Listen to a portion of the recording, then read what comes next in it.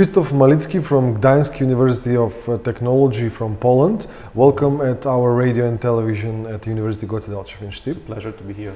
Uh, So we're going to talk about your role. You have been here for a while, for a couple of days in, at our university. What was your role here at the university, uh, and what was your agenda while you were here? Uh, my cooperation with your university started about half a year ago because you applied for the European program for universities from Western Balkans. And that's why we started a discussion about how to establish a robust and sustainable system for technology transfer at the university in Stip. Mm-hmm. So that's why I am here. We are discussing with the people from the university what is TTO, Technology Transfer Office, what's the role of TTO within the university infrastructure, and how to build a process for transferring what is invented at the university to the businesses that are in Stip or in general in Macedonia or in the region. Most of the time, you talked about, uh, and also at your lecture here, you talked about the TTO. What is Technology Transfer uh, Office At- within the university? Okay, many people at the university undertake uh, activities that are connected to commercialization, I mean, implementation of the research they made in the industry. So TTO is just a centralized and well organized way for such activities. So I don't have to know, as a professor, I don't have to know everything about the process. So I have my TTO to support me in that part that is not exactly my area of expertise. So I can so I can be concentrated on research, delivering results, but there is somebody that will help me to sell that results to the industry. So you do have your own uh, successful TTO at your university, right? Yeah, in fact, we, we have two separated entities at the university in Gdańsk because we have TTO, which is the unit within the university organizational structure, and we have a company that is owned by the university and that also is responsible for supporting the commercialization. Is that some, some kind of outsourcing company? Uh, there are different types of commercialization. So you can provide contract research services or you can license technologies. And this is usually called a direct commercialization. So the agreement is directly between the university and uh, SME, so a company that wishes to buy a license or contract research activities. But there is also something called indirect commercialization, and this is usually connected with establishing special companies that are called spin offs, because these are companies that are based on the research results developed at the universities. Mhm. So who is managing these these companies and these organizations? Are they managed by the university, by the people from the university?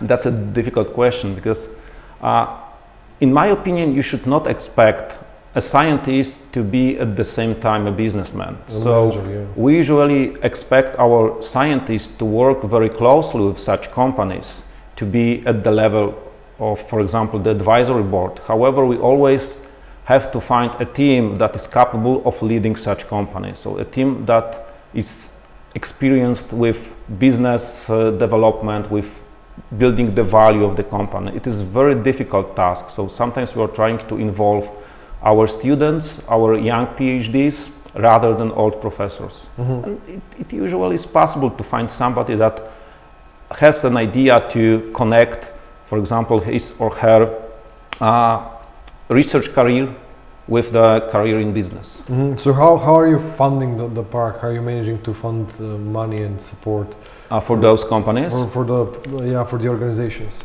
Uh, okay, if we are talking about the unit that is within the university uh, organizational structure, then of course money is provided by the university, and we are trying to apply for different uh, projects that are sponsored by the government or by the European Union entities. And we've got at least one such project that is called Innovation Incubator, and we can finance few people from that project and we can support our, our scientists up, up to 20,000 euro to make their inventions more ready for the market. So this is one of the projects that we have within the university. In, in are you uh, able to get enough fundings for for the two institutions?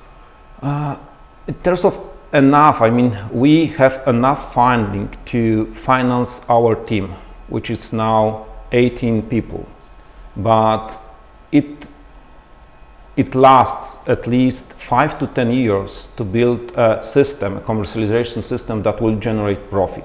And we are close to that at the University of in Gdańsk, but we are not yet profitable. Mm -hmm. So we still are working on that. We expect to be profitable maybe within two or three years. Mm. Can we mention some of the benefits of the TTOs? Who has the benefit most? Maybe the researchers, the students, and what are the benefits for the researchers? What are the benefits for the students or for the business sector?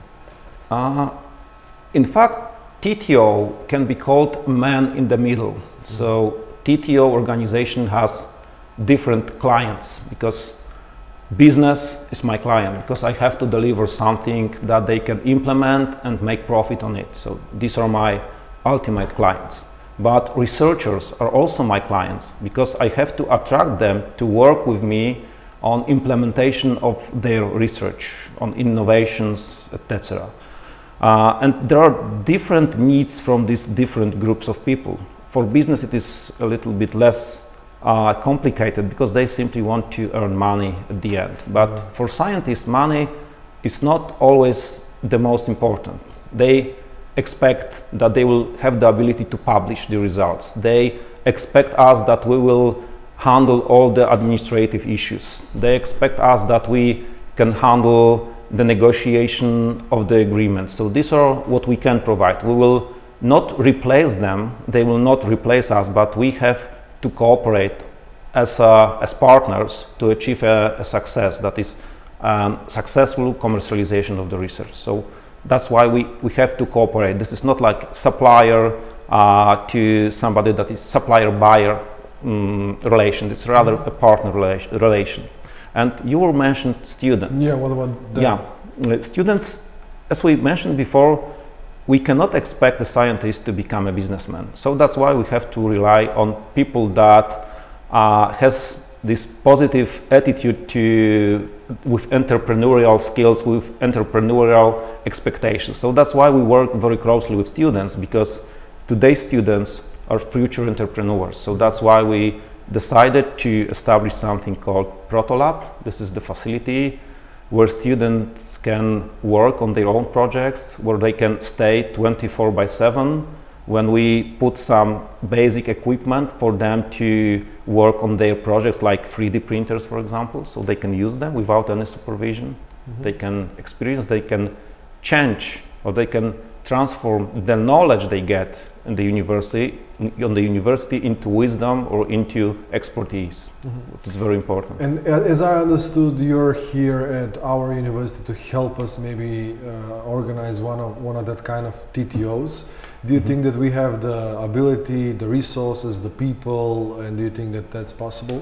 That is what i'm sure about because in fact you're in a place we were about 10 to 15 years ago. So you have right people, you have potential, you have positive attitude, but of course, of course the road is very, it's not an easy road. You will have probably to put a lot of effort to achieve the success, but my role here is to tell you or to share with you the knowledge I have about, uh, for example, things that you should not do, the things that you should do, because we failed several times, so why for you to have the same failures on your path to, to the commercialization services. So that, that's my role. But for sure, you have potential, you have people, you have infrastructure, but it simply uh, requires time to convert that into profit, into commercialization that will be beneficial for your scientists and for your companies in Macedonia.